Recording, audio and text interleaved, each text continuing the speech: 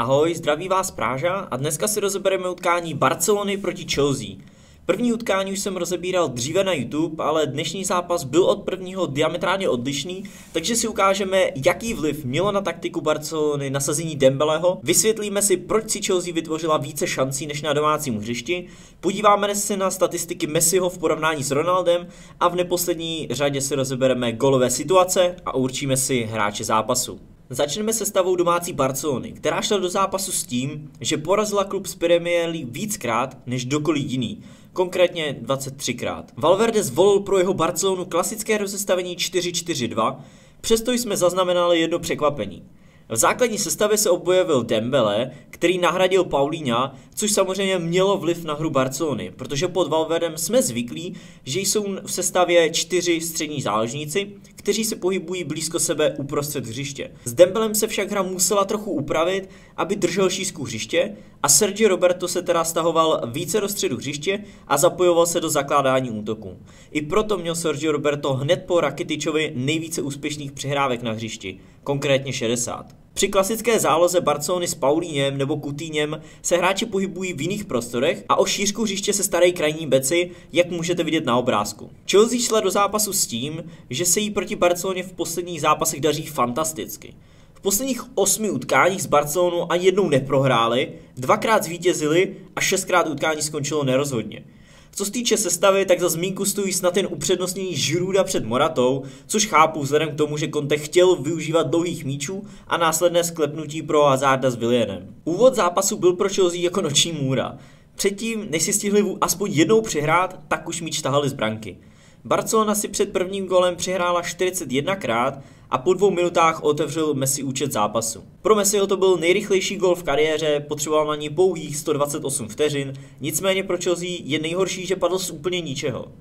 Blues měli sformovanou obranu, přesto se s trochou štěstí dostal míč k Messimu, který z úhlu trefil přesně mezi nohy Courtois, přestože z takového úhlu by nikdy neměl skórovat, navíc slabší pravačkou. Je zajímavé, že vždy, když se Messimu narodil syn, tak v následujícím utkání střelil branku. Netrvalo to dlouho a Barcelona zvýšila na 2-0. Fabriga ztratil míč uprostřed hřiště po aktivním napadání Messiho, který se individuálně prosadil přes Christensena s Aspim a následnou nesobeckou přehrávkou našeho volného Dembeleho, který měl sice slibnou pozici, přesto musel míč prostřelit přes tři hráče, což se mu nakonec povedlo a poslal Barcu do vedení 2-0. Je zajímavé, že v roce 2005 přihrál na první gol Messiho legendární Ronaldinho a včera na první gol Dembeleho naopak přihrál Messi. Ještě bych se ale vrátil k tomu, z jaké pozice startoval Dembele. Na obrázku můžete vidět, že startoval hluboko z vlastní půlky a předvedl dlouhý sprint, aby se dostal až do zakončení. To značí nejenom touhu střelit první branku za Barcelonu, ale zároveň ukazuje ohromnou rychlost francouzského křídelníka. Přestože Barcelona rychle vedla 2-0, se mi líbil více výkon londýnské Chelsea. Nedrželi sice tak často míč, ale byli přímočařejší a z mého pohledu i nebezpečnější, protože si dokázali vytvořit více šancí. Navíc dvakrát trefili břevno, celkem už v letošní sezóně ligy mistrů trefili břevno pětkrát, víckrát se to povedlo v uvozovkách pouze Liverpoolu. Pro zlepšený výkon Chelsea jsem viděl dva důvody.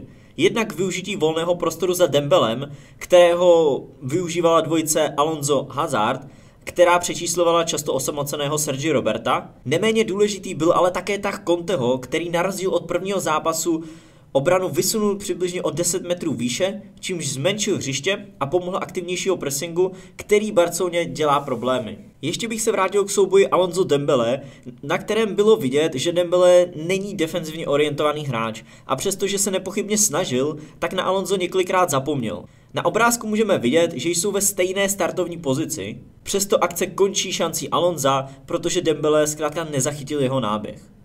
Ani třetí gol Barcelony nebyl nějakým způsobem extra vypracovaný, ale vycházel z individuální chyby.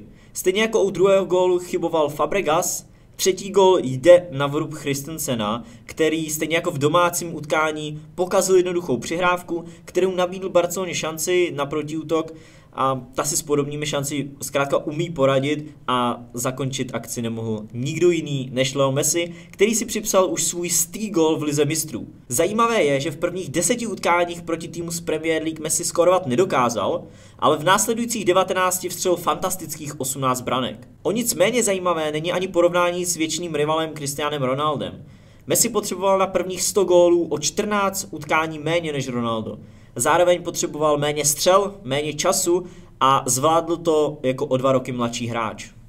Když už jsme u těch statistik, tak tu máme i jednu negativní, konkrétně pro Luise Suareze, který v Lize mistrů nedal gól už téměř tisíc minut. Konkrétně 971 minut už nevstřelil branku v Champions League. Mnohem pozitivnější je statistika Barcelony jako klubu, který už 11krát v řadě postoupil do čtvrtfinále, což se nikomu předtím nepodařilo.